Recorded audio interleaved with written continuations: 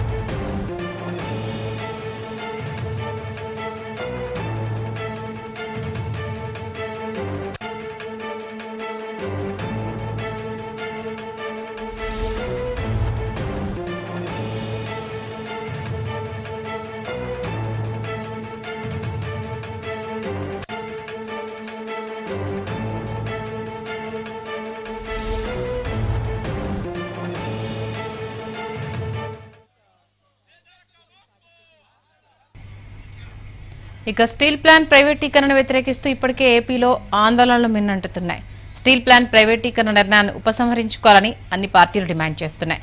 విశాఖలో చేస్తున్న ఆందోళనకు మద్దతు ప్రకటించాయి.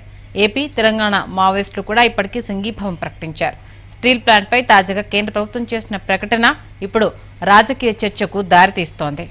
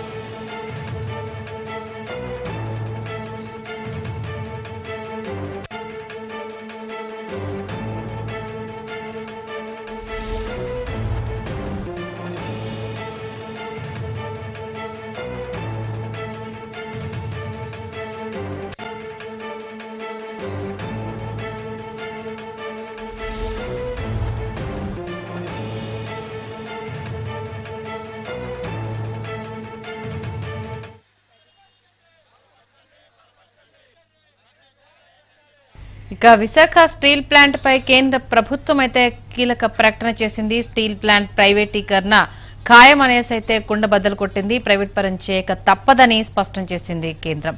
ఇవాళ పార్లమెంట్ సాక్షిగా ఈ అంశాన్ని కేంద్ర ప్రభుత్వం పేర్కొంది. లోక్సభలో విశాఖ వైసీపీ ఎంపీ సత్యనారాయణ అడిగిన ప్రశ్నకు కేంద్ర మంత్రి నిర్మలా సీతారామన్ జవాబు ప్రైవేటీకరణ తప్పదంటూ కుండబద్దలు కొట్టింది.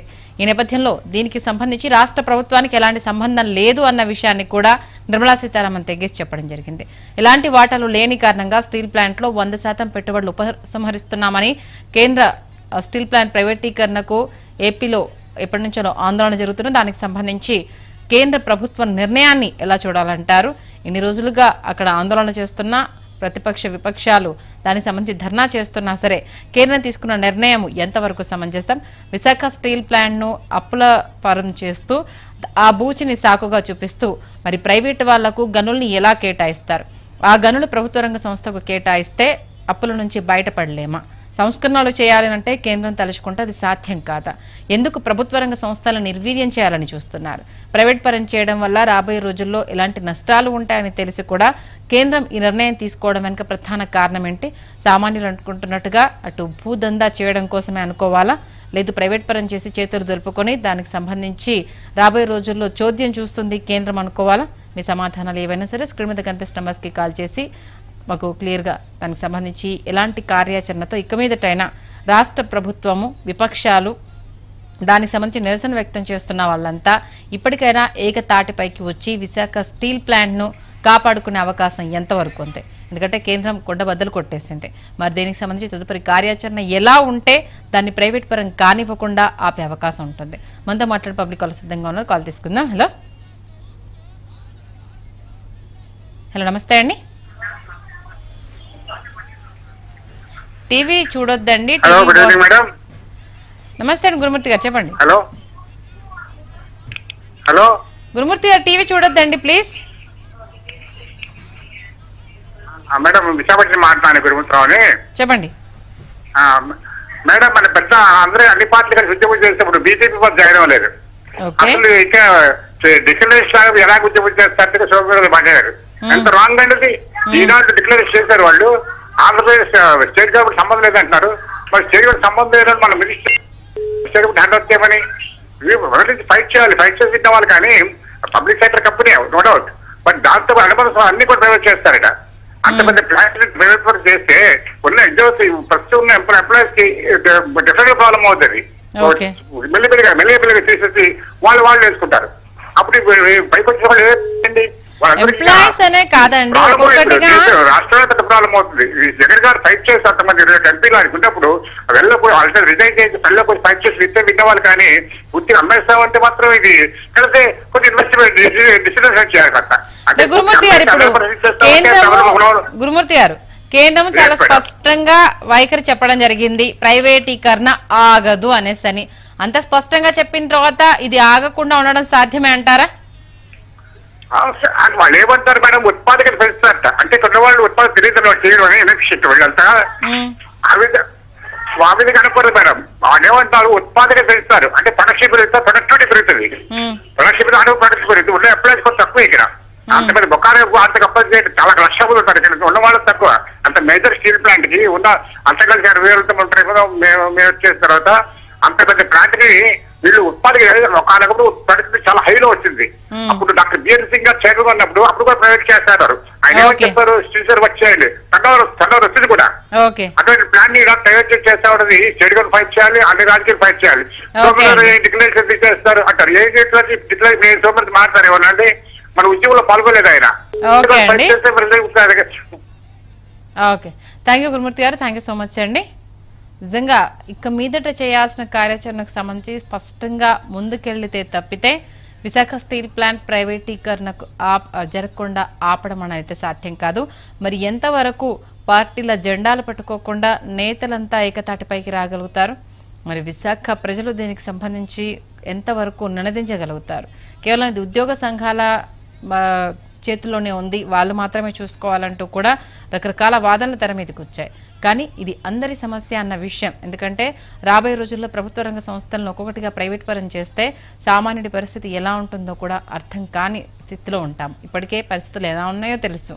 ఇంకా రాబోయే రోజుల్లో మన జనరేషన్ నెక్స్ట్ రాబోతున్న జనరేషన్కి జాబ్ గ్యారంటీ అన్నది లేకుండా భద్రత లేకుండా జీవితాలు ఎలా మారుతాయో కూడా తెలియని పరిస్థితి.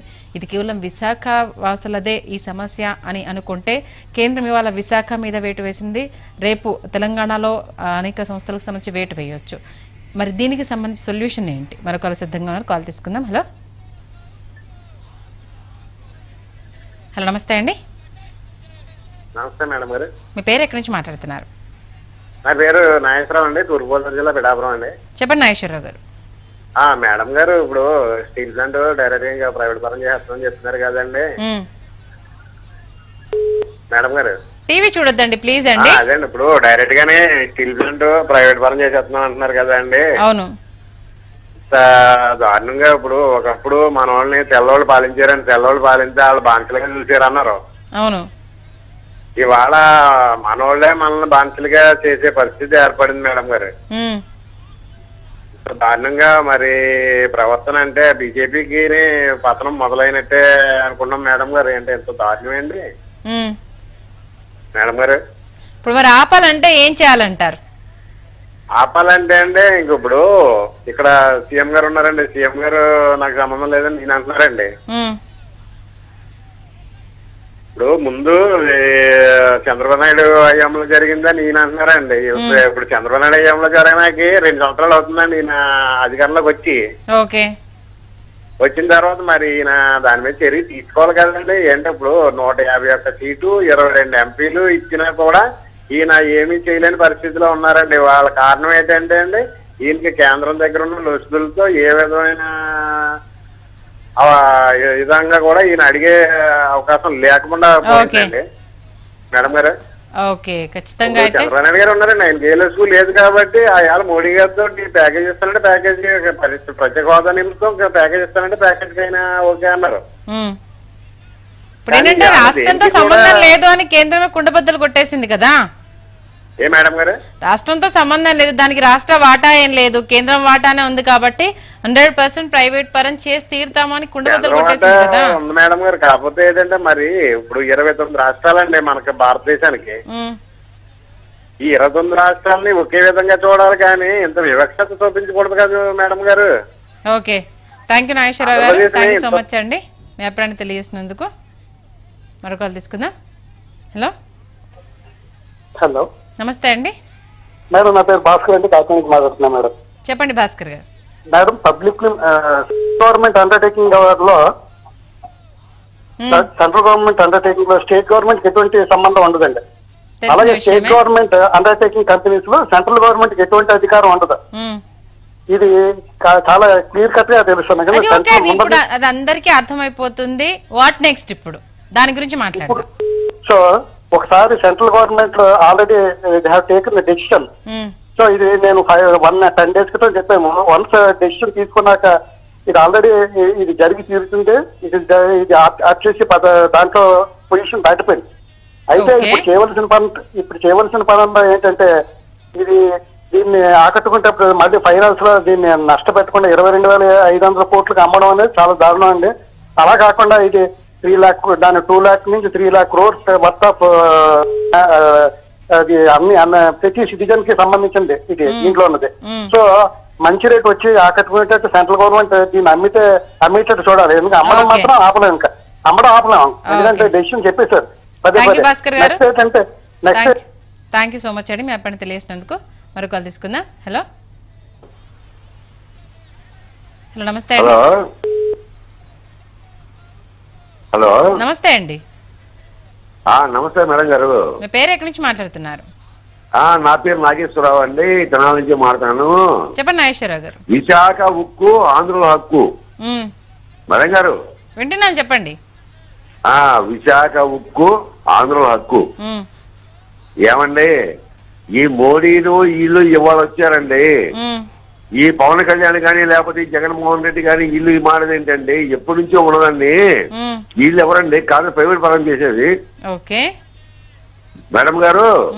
ఒకటి ఆలోచించండి వాళ్ళు ఎన్నో రోజులు ఉద్యమాలు చేస్తున్నారు. తర్వాత ఇక్కడ కాదండి ఎక్కడో ఢిల్లీలో ఉద్యమం చేస్తున్న వాళ్ళనే చేసుకోలేండి. ఢిల్లీలో ఉద్యమాలు చేస్తున్నారు ఇది మన మా రైతుల కోసం అవును. వాళ్ళని పట్టించుకోకుండా ఎంతసేపు వీళ్ళు విశాఖమే పడిపోయారండి వీళ్ళు ఓకే. అంటే కేంద్ర వైఖరి అయితే. కరెక్ట్ కాదు అంతేనా? ఇది కరెక్ట్ కాదు మేడం గారు. ఎందుకంటే అది ఏమండి ఎంతో మంది ఎంతో కాలం శ్రమించి చేసింది విశాఖ ఉక్కు ఆంధ్ర హక్కు అని చెప్పి మన కోసం పుట్టిందండి అది. అవును. అది ఆంధ్రప్రదేశ్ కోసం ఒకటే ఒక శాఖ అది. దాన్ని కూడా ప్రైవేట్ పరం చేస్తే ఇంకేముందండి? ఓకే. థ్యాంక్ యూ నాగేశ్వరరావు గారు. థ్యాంక్ యూ సో మచ్ అండి. మీ అభిప్రాయం తెలియజేసినందుకు మరో కాల్ తీసుకుందాం. హలో హలో నమస్తే అండి. నమస్కారం మేడం. మీ పేరు ఎక్కడి నుంచి మాట్లాడుతున్నారు? ఆ, మేడం నా పేరు మేకల రవికుమార్ మేడం. మా తెలంగాణ. చెప్పండి రవికుమార్ గారు. District madam. చెప్పండి. మేడం ఇది విశాఖ ప్లాంట్ ఇట్లా చేస్తున్నారు కదా. అయితే ఇప్పుడు జగన్మోహన్ రెడ్డి గారికి అంత పెద్ద మెజార్టీ ఇచ్చారు మేడం. ఇచ్చినప్పుడు ఈయన ఈయన భేషజాలకు పోకుండా అవసరమైతే అఖిలపక్షం మొత్తం ఏర్పాటు చేసి. ఇక్కడ మామూలు విజయసాయి రెడ్డి గారు ఏం చేసినా ఆపడం సాధ్యం కాదు. ఇందాక ఒక కాలం అయితే చాలా స్పష్టంగా చెప్పడం జరిగింది. కాకపోతే మూడు. లక్షల కోట్ల రూపాయల విలువ చేసే ఆస్తిని ఇరవై రెండు వేల లక్షల కోట్లకి అమ్మేస్తున్నారు. ఆ శ్రమ దోపిడీ అంటే ఆ దోపిడీ జరగకుండా చూడగలిగినా చాలండి. ఆపడం అయితే ఎవరి తరం కాదు అనేసి అని ఆయన చాలా స్పష్టంగా చెప్తున్నారు. మేడం ఇప్పుడు ఈయన జగన్మోహన్ రెడ్డి గారు ఈయన కేసుల గురించి ఈయన లాలచిపడి ఈయన వ్యవహారం చేస్తుండు. ఉమ్. చంద్రబాబు నాయుడు గారు ఏం గట్టిగా మాట్లాడలేకపోతున్నారు అంటే రాష్ట్ర ప్రభుత్వం వాటా లేనప్పుడు ప్రభుత్వం ఫైట్ చేసినా. ఎంతవరకు నిలబడుతుంది? కరెక్ట్ మేడం ఇప్పుడు ఈయన రిప్రజెంటేటివ్ రిప్రజెంటేటివ్గా మేడం ఈయన ఏం చేయాలి? ప్రజల యొక్క ప్రజల యొక్క ఆశయాలు చెప్పాలి. చెప్పాలి. సంగతి నేను సీఎం గారిని పనిచేస్తున్నాను కాబట్టి ప్రజలు ఇబ్బంది పడుతున్నారు. ఇంత లక్షల మంది రోడ్డు మీద పడుతుందని చెప్పి చెప్పాలి. ఇప్పుడు వాళ్ళకు లోక్సభలో రాజ్యసభలో వాళ్ళ మెజార్టీ మెంబర్స్ గురించి అందరికీ తెలిసిందే. కాబట్టి రిజైన్ చేసినా ఏం చేసినా మోడీ గవర్నమెంట్కి వచ్చిన నష్టం లేదు కదా? మేడం. మరి ఇంకేంటి మార్గం ఏంటి? ఇప్పుడు కరెక్ట్ మేడం.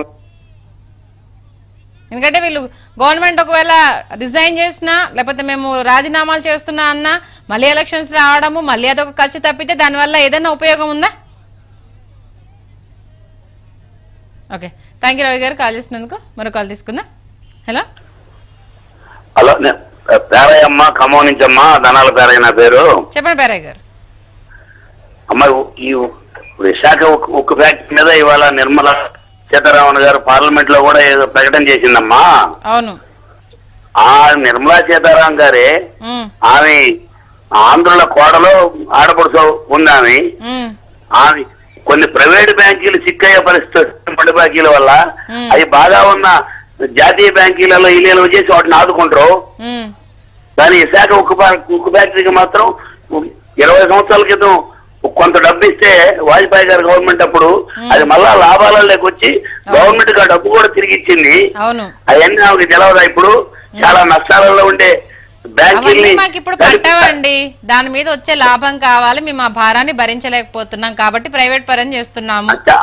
అబద్ధం అమ్మా. ఇప్పుడు ప్రైవేట్ వాళ్ళు అయితే వాళ్ళ ప్రైవేట్ వాళ్ళు చిన్న మాట. చెప్పండి. హలో. ప్రైవేట్ వాళ్ళు అయితే ఇప్పుడు ఆ ఏడెనిమిది వేల ఎకరాలు ఉంది అక్కడ. కొన్ని లక్షల కోట్లు విలువ చేసే ల్యాండ్.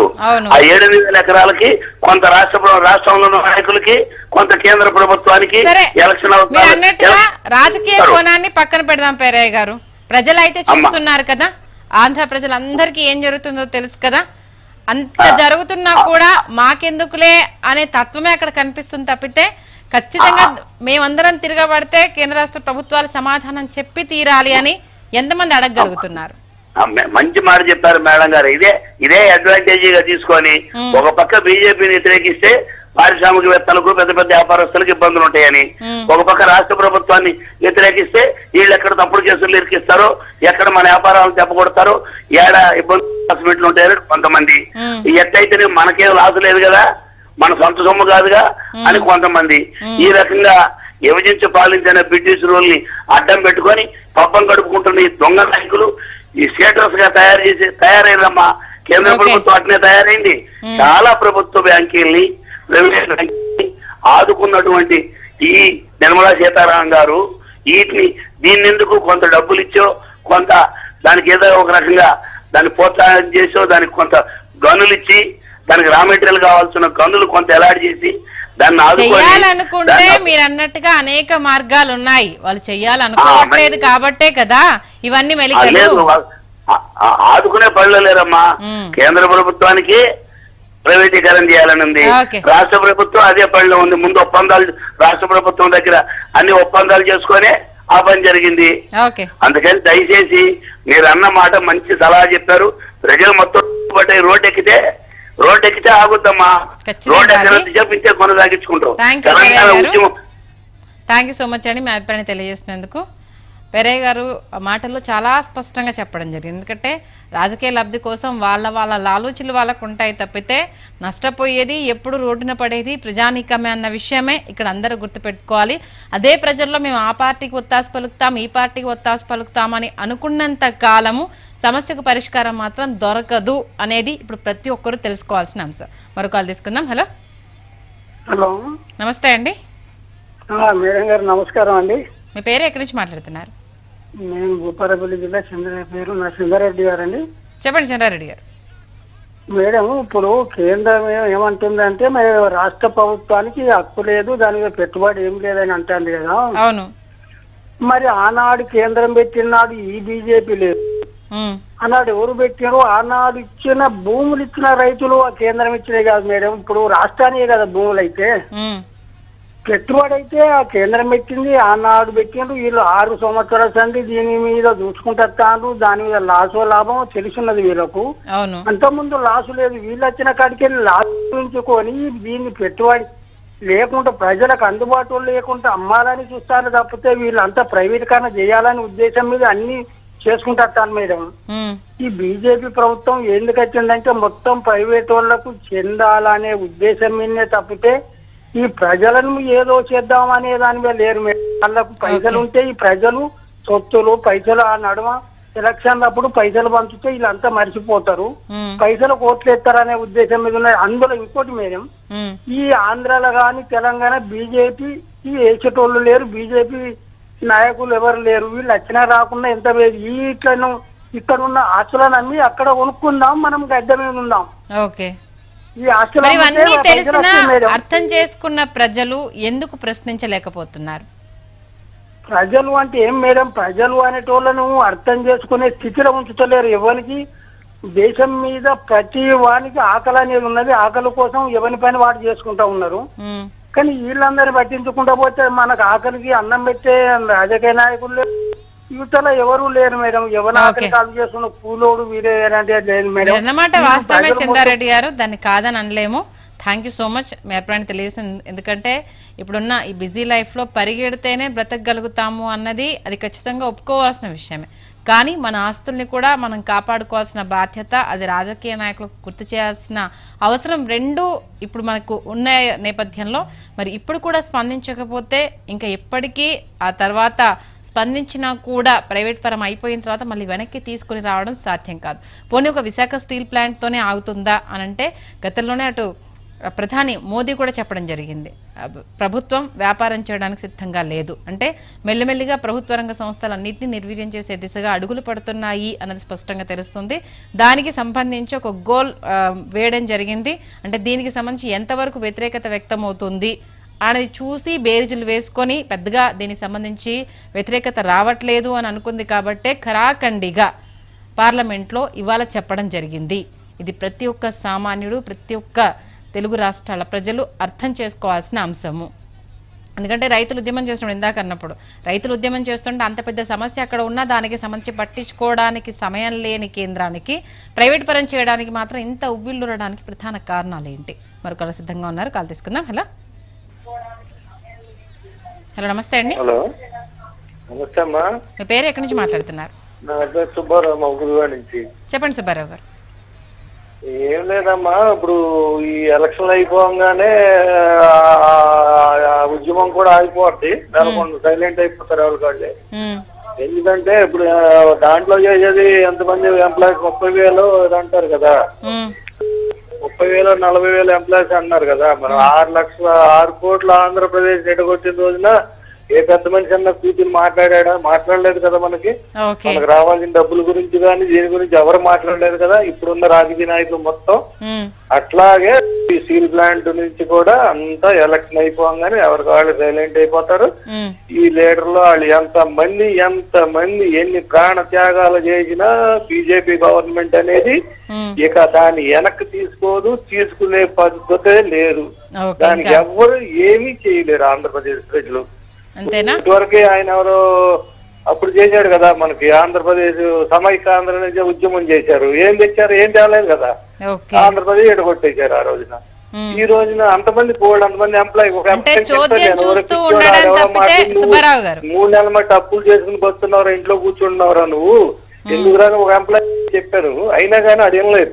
ఓకే. అట్లాగే రేపు కూడా ఇది కూడా అంతే అవుతుంది. మీరు అన్నట్టు ఇందాక ఎవరో కాలర్ చెప్పాడు కదా. ఆ ఏడు వేల ఎకరాలు ఇంకా ఖాళీ భూమి ఉంది. ఆ రోజున పదకొండు వందలకి ఇచ్చారంట అక్కడ అందరూ. కొన్ని గ్రామాలన్నీ కట్టారు అయిపోయింది. అది వాళ్ళ పాపం ఎనిమిది వేల మందికి ఏమో జాబులు ఇవ్వలేదు. ఇన్నాళ్ళు బట్టి దానికి అసలు నీళ్ళు లేవు మీకు తెలుసో తెలీదో నీళ్ళు లేవు. ఆ ప్లాంట్ మేము వస్తే ప్లాంట్ ఆగిపోతుంది తెలుసా. గవర్నమెంట్ మరి యాభై సంవత్సరాల మట్టి కాంగ్రెస్ కానీ ఇంకోటి కానీ ఇంకోటి కానీ ఏం చేసింది? ఓర్ ఇవ్వలేదు. ఐరన్ ఓర్ ఇవ్వలేదు. మ్మ్. బీజేపీ వాళ్ళు ఇక్కడ మాట్లాడతారు. వాళ్ళు పెద్దలు అదేమంటే ఒకప్పుడు అదేది సమైకాంధ్ర గురించి మాట్లాడితే బీజేపీ వాళ్ళు వాళ్ళ తనని కూడా వెళ్ళారు అట్లా గుజరాత్ నుంచి వచ్చిన వాళ్ళందరూ కూడా. ఈ గుజరాత్ మహారాష్ట్ర రాష్ట్రాలన్నీ బాగుపడతాయి ఆంధ్రప్రదేశ్ సర్వ నాశనం అయిపోతుంది. అది. థ్యాంక్ యూ సుబ్బారావు గారు. థ్యాంక్ యూ సో మచ్ అండి. మీ ఆవేదన తెలియజేసినందుకు. మరొకరు తీసుకుందాం. హలో.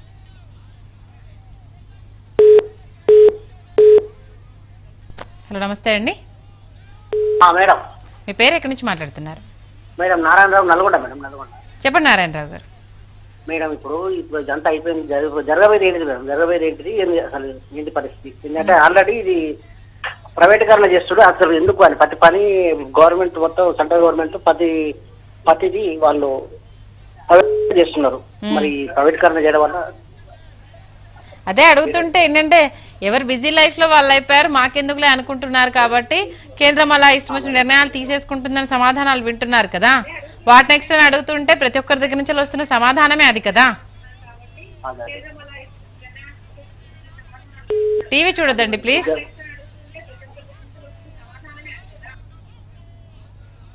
మీరు టీవీ చూస్తున్నారు. ఓకే థ్యాంక్ యూ అండి. కార్యక్రమం చూసి కాల్ చేసినందుకు.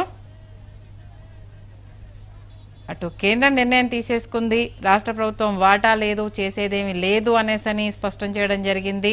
బట్ తలుచుకుంటే ఏదైనా జరగొచ్చు అన్నది గతంలో జరిగిన అద్భుతాలు మనం కళ్ళతో చూసిన సందర్భాలు ఉన్నాయి. కాకపోతే ఏంటంటే ఇది మా సమస్య కాదు మా సమస్య కాదు అని ఎవరికి వాళ్ళు అనుకుంటున్నారు కాబట్టి రాజకీయ పార్టీలు ఎవరి లబ్ధి కోసం వాళ్ళు ఇందాక కాలర్స్ చెప్పినట్టుగా ఎవరి కేసులు అక్కడ ఉండి లాలొచ్చి పడ్డం కోసము అలాగే వాటి నుంచి బయటపడాలంటే ఇప్పుడు సైలెంట్గా ఉండాలన్న ఉద్దేశము ఇవన్నీ కనిపిస్తున్నాయి. అధికారంలో ఉన్న పార్టీయే కావచ్చు విపక్ష పార్టీయే కావచ్చు. వాటి పార్టీ జెండాలను పక్కన పెట్టి ఎప్పుడైతే ఏకతాటిపైకి వచ్చి ప్రజల కోసం పోరాటం చేయగలుగుతాయో అప్పుడు ప్రజలు కూడా ముందుకు రాగలుగుతారు అన్న అభిప్రాయాలను అయితే వ్యక్తం చేస్తున్నారు. బట్ అక్కడ సమస్యకి సంబంధించి అయితే కేంద్రం సమాధానం చెప్పేసింది. మరి ఇక ఏ నిర్ణయం తీసుకోబోతుంది రాష్ట్ర ప్రభుత్వం? మరి ప్రజానికం దీనికి సంబంధించి ఎలా స్పందిస్తారు అన్నది ఇక తెర మీద చూడాల్సింది. ఇప్పటికే విశాఖ ఒక్కొక్క సంబంధించి ఉద్యమాలు అయితే కొనసాగుతూనే ఉన్నాయి. ఒకరోజు దీక్షలు చూడడం జరిగింది. టీడీపీ దీక్ష చేయడం జరిగింది. ఆ తర్వాత బైక్ ర్యాలీ చూడడం జరిగింది. అలాగే అధికార పార్టీ నేతలు ఆ, సంఘీభావం దానికి సంబంధించి అనేక రకాలుగా తమ చేతిలో ఉన్న అంశాలకు సంబంధించి పోరాడతాము ఖచ్చితంగా పోనివ్వము పార్లమెంట్లో కావచ్చు రాష్ట్రం తరపున కావచ్చు. ఎట్టి పరిస్థితులను ప్రైవేట్ పరం కానివ్వము అనేసి అని చెప్పిన తర్వాత కూడా పార్లమెంట్ నుంచి ఈ సమాధానాన్ని ఏ రకంగా చూడాలంటారు? మరో కాల్ తీసుకుందాం. హలో. హలో. నమస్తే అండి. టీవీ వాల్యూమ్ తగ్గించేయాలండి ప్లీజ్. మీ పేరు